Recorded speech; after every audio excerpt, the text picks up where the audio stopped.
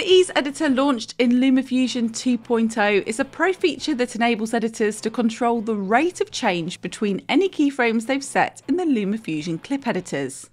Now, the changes we make to our media will look more natural and lifelike by adding acceleration or deceleration to the animations and effects we place on our clips.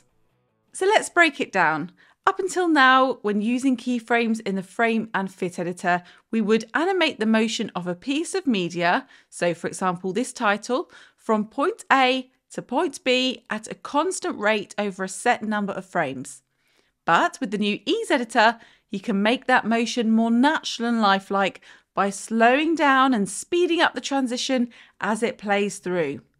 This helps create a smooth look to your animations rather than the movement looking harsh and abrupt. Moving on to the speed and reverse editor, easing is used here to create smooth speed ramps. Rather than the speed increasing or decreasing at a constant rate between keyframes, with easing, you can smooth out the transition, gradually moving in and out of those keyframes, achieving a more fluid and true to life visual that helps audiences get lost in the story you're telling. Easing also extends to the way you can edit your audio, adding realism and fluidity to the changes you make to your clip. In this example, adjusting the ease of the volume. Here in the Colour and Effects editor, we can make changes to the easing of an effect placed on our clip, giving us much more control over the look and feel of the final output, creating the subtle or dramatic visual effects we desire. To get started with easing in LumaFusion 2.0, tap the Ease Editor icon at the top of the preview window. You'll be prompted to unlock this pro feature with a one-time in-app purchase, which also includes access to speed ramping and enhanced keyframing with Bezier curves. Once you've done this, head to a clip editor where you've made a change over time using keyframes. In this example here, I'm in the frame and fit editor and I've created a slow zoom in on my content as it plays. When I tap the Ease Editor icon, I can see I've got a constant rate of change on this transition where it starts and stops abruptly. Just watch as I play this out. To add easing here for a more fluid, natural look, cast your eye below the ease graph here you'll find two sliders. The purple slider controls the easing going into a keyframe, and the green slider controls the easing going out of a keyframe.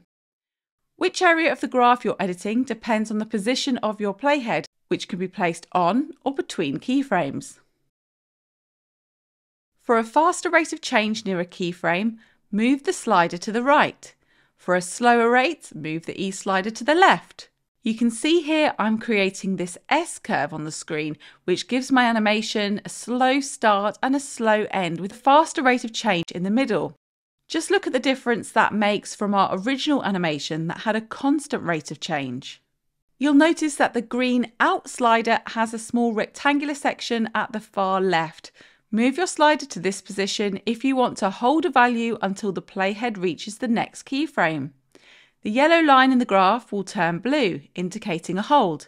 This is useful when you want the rate of change to stay constant for a period, creating a sudden change at the next keyframe. So in this example, enabling you to jump from one frame and fit to another without having to split the clip on the timeline first. Continue with your edit until you're happy with how your media plays out.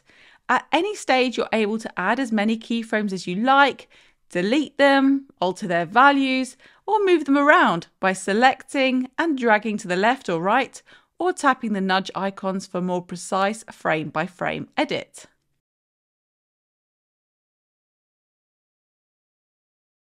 When using multiple keyframes on a clip like this, Editors are also able to use the velocity graph to take a closer look at how the rates of change differ between the keyframes in a clip. The x value here is time, and the y value marks the relative rate of change, with faster values at the top and lower values at the bottom. The graph will change as you adjust the easing, which makes the velocity graph a great visual tool if you want to match the easing heading into and out of a particular set point. However, there will be some times where you prefer a faster edit without manually adjusting the sliders and using the graphs to set your own easing yourself.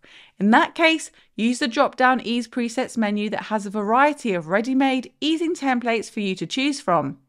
Place your playhead on or between two keyframes, and when chosen, the preset selected will affect either the highlighted in or out area.